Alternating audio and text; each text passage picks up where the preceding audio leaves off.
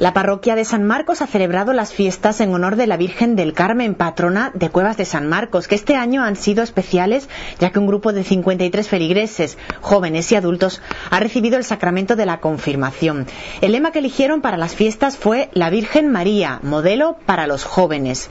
Las confirmaciones tuvieron lugar el sábado 9 de julio en la parroquia y estuvieron presididas por Antonio Collado, vicario episcopal para la promoción de la fe.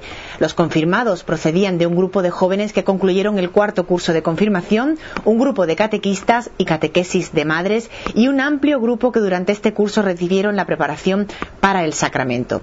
Te esperamos de nuevo aquí mañana para seguir compartiendo buenas noticias.